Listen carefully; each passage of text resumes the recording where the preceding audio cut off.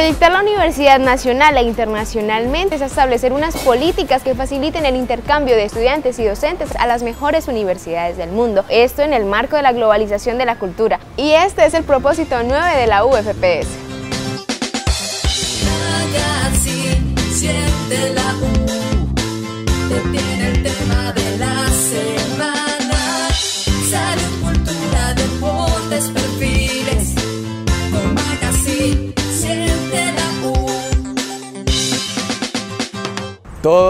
Soñamos con viajar a otro país. Enfrentarnos a culturas que solo vemos en televisión. Entender otra forma de ver el mundo. Hoy les traemos dos experiencias de estudiantes que se arriesgaron a dejar sus casas. Y estudiaron durante un semestre en otro país y lejos de su familia. ¿Y a usted le gustaría hacer intercambio?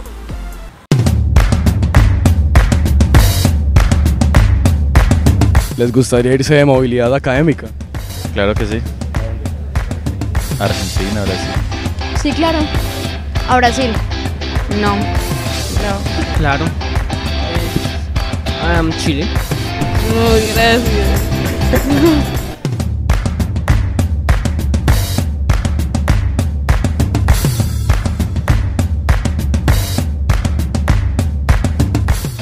¿A usted le gustaría irse de movilidad académica? ¿Qué es eso? Sí, claro. ¿A dónde? Eh, Brasil. No. Sí. No sé de Canadá. ¿Eso qué es? No, ni idea. Ni idea. No, la verdad no, no ni idea.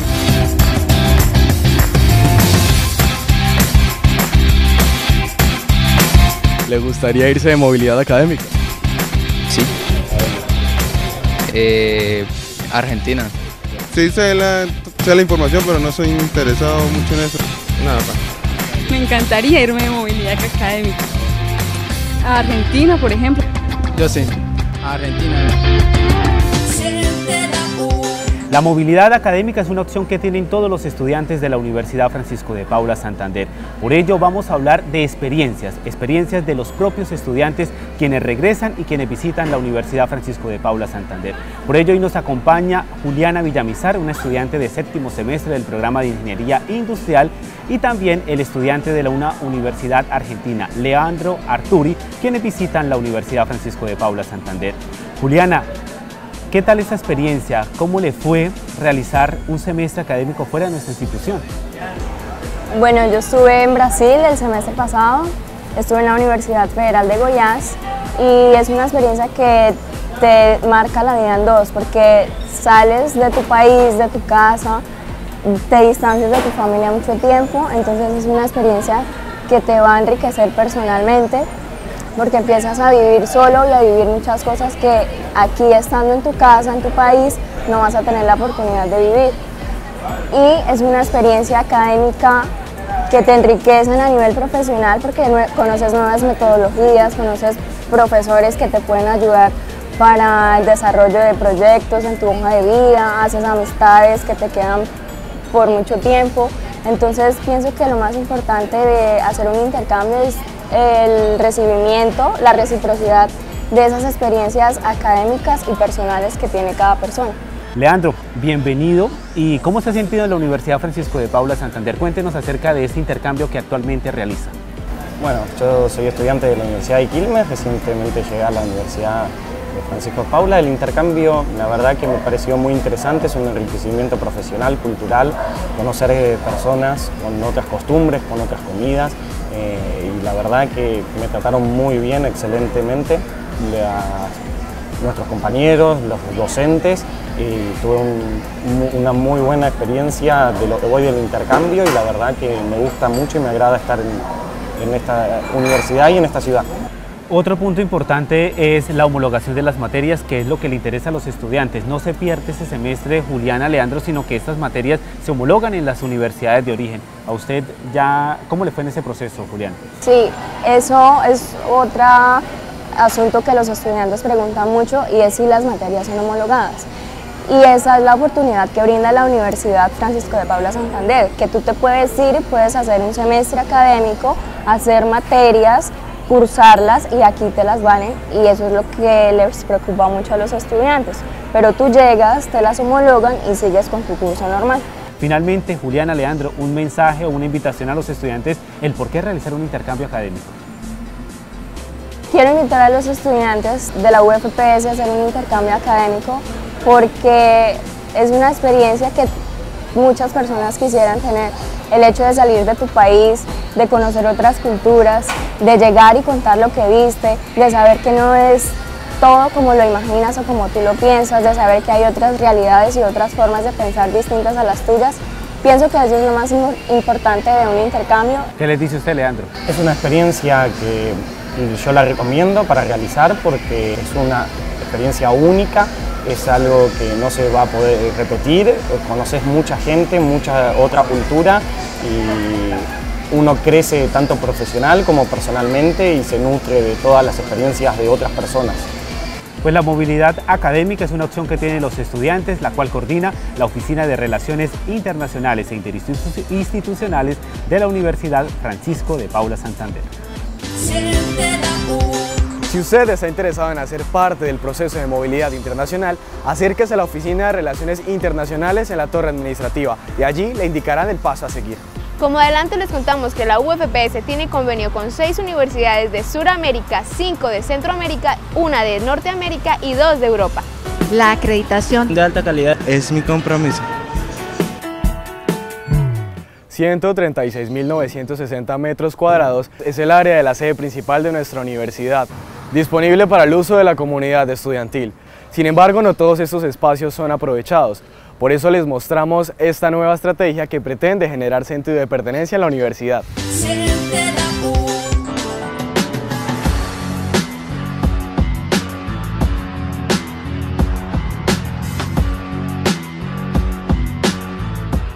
Nos encontramos en la cancha contigua al edificio de Aula Norte. Esta es utilizada por el equipo de rugby para sus prácticas deportivas. Sin embargo, los estudiantes de séptimo semestre de Comunicación Social adelantan el proyecto Salvemos el Norte, que busca implementar el uso y apropiación por parte de los estudiantes. Conozcamos más acerca de este proyecto.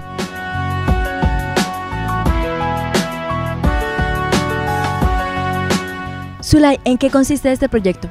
Bueno, Salvemos el Norte es un proyecto que está siendo llevado a cabo desde ya hace varios semestres por estudiantes de comunicación social de séptimo semestre y que precisamente lo que busca es rescatar esta zona norte de la universidad que pues es muy poco utilizada. ¿Qué actividades se han desarrollado o se piensan implementar para este proyecto? Desde el semestre pasado se han llevado a cabo algunas jornadas de, limpieza con estudiantes de comunicación social y de otras carreras. Y la idea es hacer este 12 de mayo una invitación para que los estudiantes se vinculen al primer torneo de golombiado de la universidad. Zulay, ¿en qué consiste este torneo golombiado UFPS? Bueno, el colombiado primero que todo es una estrategia que lo que busca es la resolución de conflictos y las prácticas pacíficas, entonces suele vincularse pues unas reglas a lo que son los deportes como tal y precisamente este encuentro deportivo lo queremos hacer con fútbol, entonces la invitación es para que todos los estudiantes de la universidad nos apoyen en la jornada de la mañana este viernes 12 de mayo y participen en esta actividad. La invitación es a participar activamente en las diferentes actividades que realizan los programas para el uso y apropiación de sus instalaciones. La acreditación de alta calidad es mi compromiso.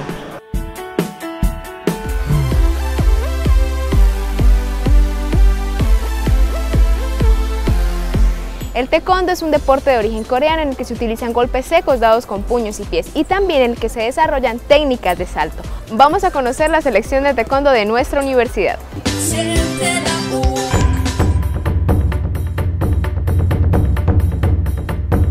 Aquí en el Coliseo de la Universidad entrenan todos los lunes, miércoles y viernes de 7 a 9 de la noche nuestra selección de taekwondo. Vamos a conocerlos un poco.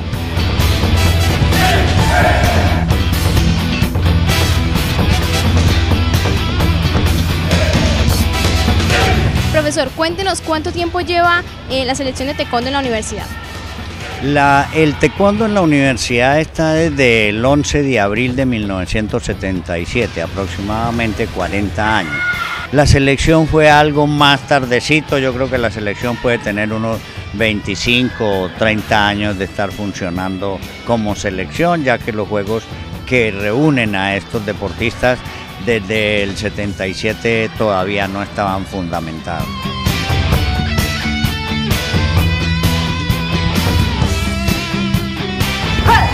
el estudiante universitario que desea vincularse al grupo de selección de taekwondo, primero tenemos que ser alumnos regulares, estar vinculados a la universidad y matriculados. En segundo lugar, el estudiante debe tener un promedio ponderado de más de 3,3. En tercer lugar, pues debe tener de una práctica consuetudinaria permanente, lunes, miércoles y viernes, de 7 a 9 de la noche, permanente todo el semestre. Actualmente, ¿cuántos integrantes tiene la selección? Eh, aproximadamente tenemos unos 10 que ya han sido sacados a las competencias unas dos, tres veces. Y tenemos un grupo nuevo que está intentando llegar a complementar esos requisitos para ya los próximos años estén vinculados a la selección.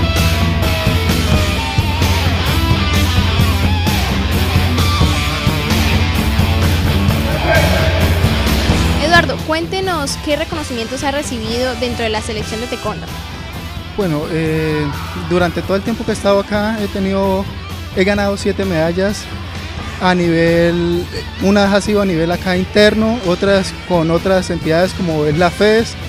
Estuve en la Universidad de Pamplona participando, representando a la Universidad Francisco de Paula Santander y actualmente pues sigo practicando y sigo aprendiendo el taekwondo.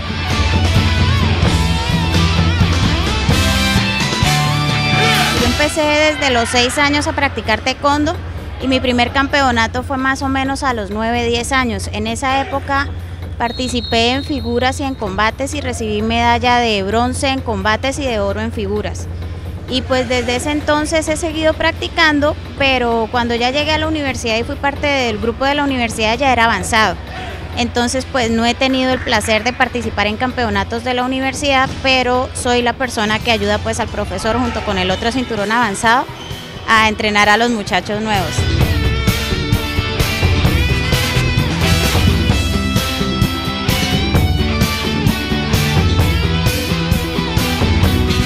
Cualquier estudiante que quiera ingresar a la selección de taekwondo puede dirigirse a la unidad de deporte en la Vicerrectoría de Bienestar Universitario.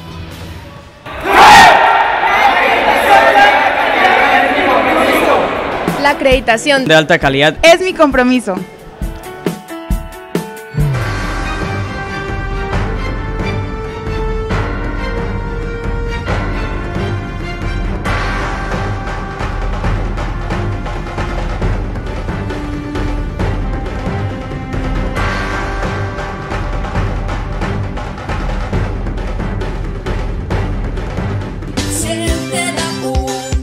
Síganos en redes sociales y cuéntenos qué les pareció el programa de hoy. También les comentamos que desde ahora pueden observarnos los lunes y los viernes a las 2 y 30 del mediodía a través del canal ATN. Y no olviden que la acreditación de alta calidad es, Es mi mi compromiso.